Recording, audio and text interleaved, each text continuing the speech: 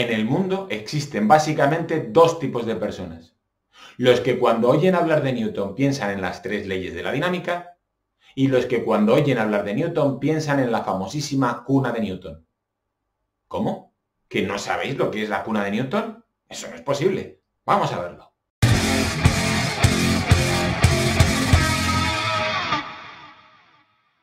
Hola chicos y chicas, ¿qué tal? Bienvenidos a clase. Hoy hablaremos de la cuna de Newton. Esta no, esta cuna de Newton. La cuna de Newton es un artilugio que consta de dos barras de las cuales cuelgan cinco bolas metálicas y esas bolas metálicas impactan unas con otras y se van impulsando.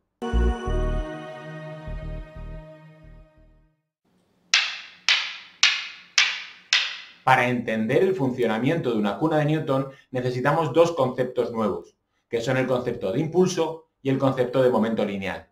Seguro que os acordáis de haberlos visto el curso pasado, pero por si acaso vamos a repasarlos. Bien, en primer lugar vamos a definir lo que es el impulso mecánico. Para definir el impulso mecánico nos vamos a basar en la definición de aceleración. Si os acordáis, la definición de aceleración era la variación de la velocidad entre la variación de tiempo. Y también nos vamos a basar en la segunda ley de Newton. Fuerza es igual a masa por aceleración.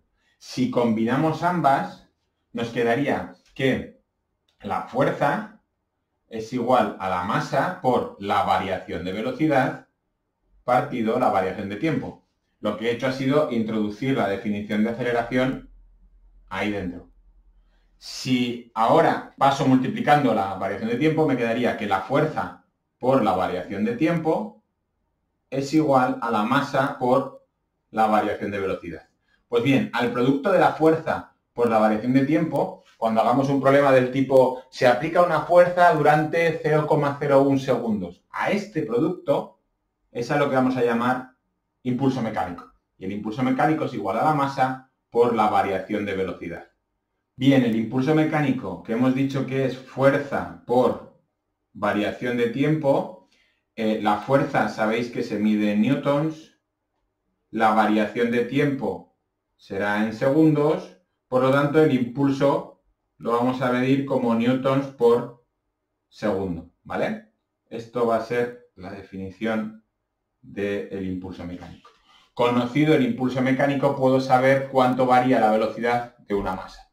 Vamos a verlo en un ejemplo numérico. Bien, el ejemplo numérico que vamos a aplicar, tenemos un balón que tiene una masa de 400 gramos, que se le da una patada con una fuerza de 300 newtons y que el contacto del pie con la pelota dura 0,01 segundos. ¿Vale? Son condiciones más o menos eh, reales. Nos piden calcular el impulso mecánico y nos piden calcular la velocidad de salida de la pelota. ¿Vale? Para calcular el impulso mecánico, si recordáis, el impulso mecánico es fuerza por variación de tiempo, por el incremento de tiempo donde se está aplicando esa fuerza nos quedaría 300 por 0,01, en total 3 newtons por segundo. Ese sería el impulso, eh, el impulso mecánico, 3 newtons por segundo. Para calcular la velocidad de salida de la pelota sabemos que el impulso que acabamos de calcular es igual a la masa por la variación de velocidad. Si despejamos la variación de velocidad, nos queda que es el impulso partido por la masa. Por lo tanto, nos queda 3 newtons por segundo partido por la masa, que son 0,4 kilogramos. Si hacemos esta operación, nos queda 7,5 metros partido por segundo, aproximadamente igual a 27 kilómetros por hora. ¿Vale? Hemos aplicado el concepto de impulso mecánico y lo hemos utilizado para calcular la velocidad de salida de un objeto que se golpea. Bien, el segundo de los conceptos que vamos a introducir en el vídeo es el momento lineal. El momento lineal se representa por una P minúscula, es vectorial, y viene dado como el producto de M por V. La definición del momento lineal, en algunos sitios también lo llaman cantidad de movimiento, es simplemente el producto de la masa por la velocidad del objeto. Las unidades de la masa son kilos, kilogramos, las unidades de la velocidad serán metros partido por segundo. Esto es una magnitud vectorial, por lo tanto esto también es una magnitud vectorial. Y las unidades del momento lineal vendrán dadas como kilos por metro partido por segundo, que son las mismas unidades que tenía el impulso lineal, ¿vale? Son las mismas unidades que tenía el impulso. Vamos a ver un ejemplo numérico del momento lineal. Vamos a calcular el momento lineal en un coche que va a una velocidad de 108 km por hora. Lo primero que tenemos que hacer es pasar a unidades del sistema internacional. Lo pasaríamos y quedarán 30 metros partido por segundo. Y me dicen que tiene una masa de 1000 kilos. El momento lineal que tiene este coche vendrá dada como el producto de m por v. Entonces, el momento lineal sería 1000 por 30, que son 30 metros por segundo. Es decir, 30.000 kilogramos por metro partido por segundo. ¿Por qué introducimos estos conceptos de impulso y momento lineal? Bien, existe un tipo de problemas en la dinámica de primero de bachillerato que son súper típicos, que son los problemas de colisiones. Una bola choca con otra, calcula la velocidad con la que sale despedida la bola, o esas dos bolas quedan unidas entre sí, salen juntas, calcula la velocidad. Ese tipo de problemas hay que resolverlos con eh, conociendo el impulso, conociendo el momento lineal. Y más concretamente, conociendo el principio de conservación del momento lineal. ¿Vale? El, principio de, conservación del momento lineal viene a decir que la variación del momento lineal es cero siempre que la suma de fuerzas externas sea cero. ¿Vale? Si sobre un objeto no actúa ninguna otra fuerza, fuerza del motor, fuerza de rozamiento, alguien que lo empuje, la cantidad de momento lineal no puede variar, se va a mantener constante. Esto se puede poner como que el momento lineal inicial tiene que ser igual al momento lineal final, ¿vale? O lo que es lo mismo, que la masa por la velocidad inicial tiene que ser igual a la masa por la velocidad final. Y con esto vamos a poder resolver ese tipo de problemas de bolas que chocan, como por ejemplo la cuna de Newton. Vamos a ver un ejemplo numérico para verlo un poquito más claro. Bien, vamos a aplicar el teorema de conservación de momento lineal a este ejemplo.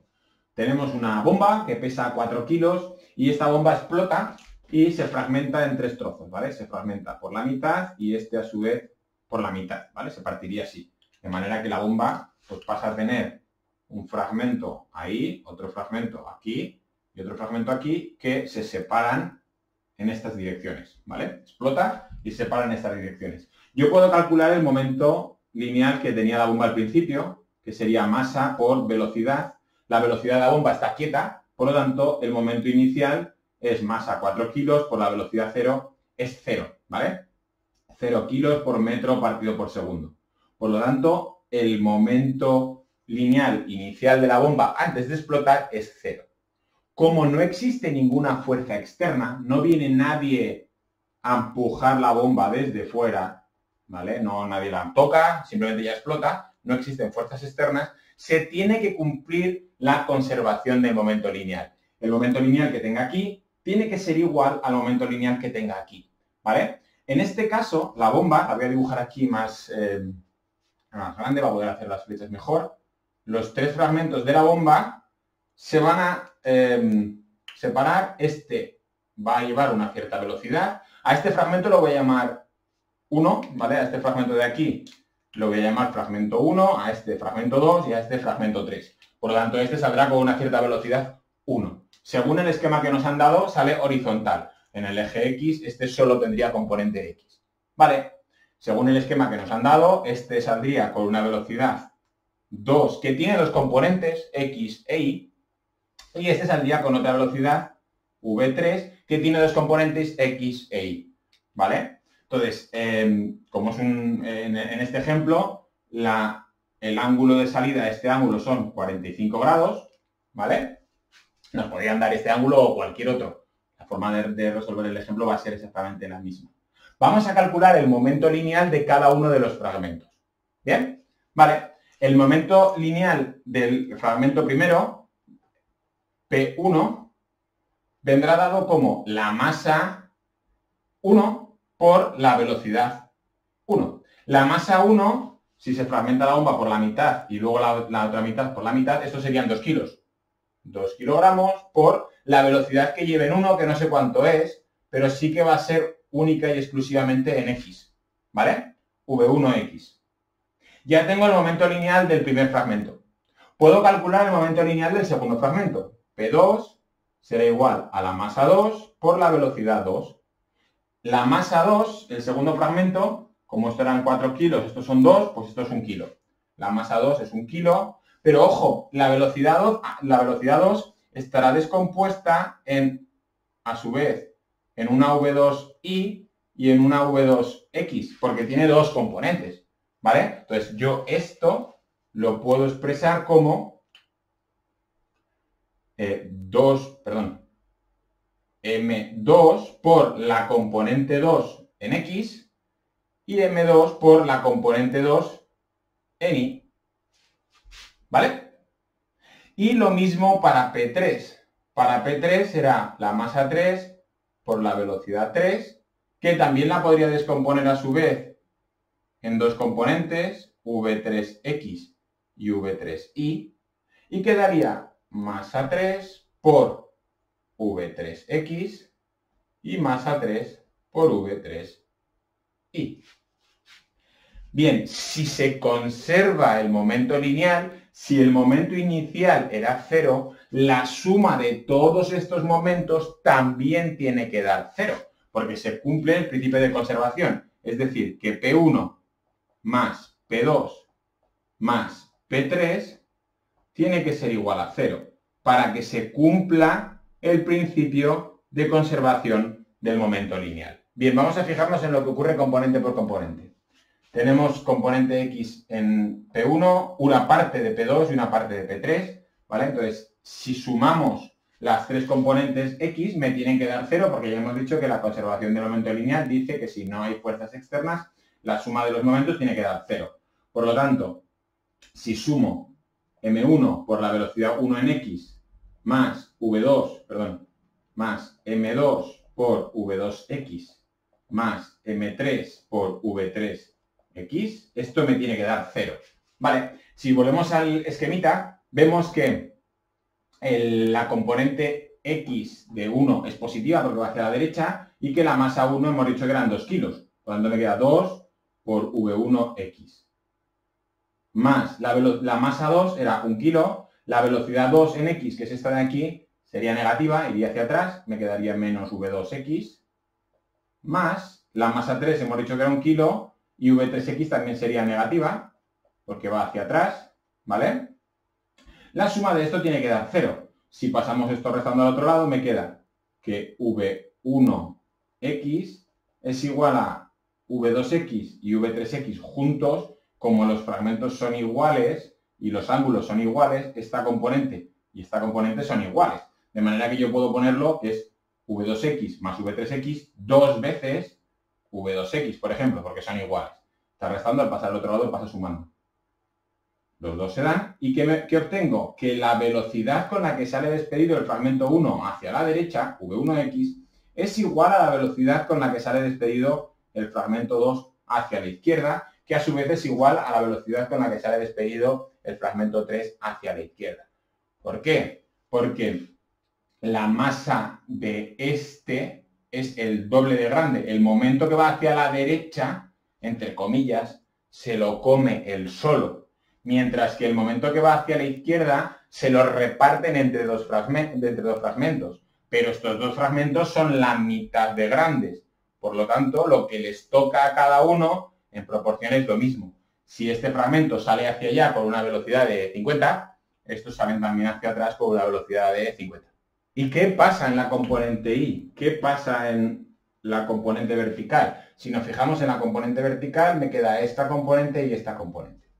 El primer fragmento, el fragmento 1, no tiene componente en, no tiene componente en Y, ¿vale? Es solo horizontal. Entonces, la suma de la componente Y del fragmento 2 y la suma de la componente Y del fragmento 3, sumados, me tienen que dar cero, porque se tiene que conservar el momento lineal. Entonces me quedará que la masa 2 por la componente 2 en I tiene que ser sumada a la masa 3 por la componente 3 en I, tiene que ser 0, ¿vale? Entonces, si la masa 2 hemos dicho que era un kilo, la componente 2 sí va hacia arriba, la dejo positiva, la masa 3 es un kilo, la componente 3 sí es negativa porque va hacia abajo, lo coloco aquí, me quedaría V3i tiene que ser igual a 0. Si despejo, obtengo que la velocidad 2 tiene que ser igual a la velocidad 3 en i. Claro, el momento lineal que se reparte en el eje vertical, como los dos fragmentos son iguales, la cantidad de momento lineal que va hacia arriba tiene que verse compensada con la cantidad de momento lineal que va hacia abajo. Bien, espero que haya quedado un poquito más claro lo que es el concepto de impulso, lo que es el concepto de momento lineal y sobre todo el principio de conservación del momento lineal. Recordad que si no hay fuerzas externas, el momento lineal debe conservarse, ¿vale? Y el momento lineal es masa por velocidad. Este es un vídeo muy teórico donde hemos introducido los conceptos. No os preocupéis si alguna cosa todavía no queda bien fijada porque vamos a hacer ejercicios, vamos a ir poquito a poco y seguro, seguro, seguro que van a salir. Si tenéis cualquier duda ya sabéis que me podéis escribir, intentaré eh, resolverlas y nada, mucho ánimo con el estudio y nos vemos en el siguiente vídeo. Chao.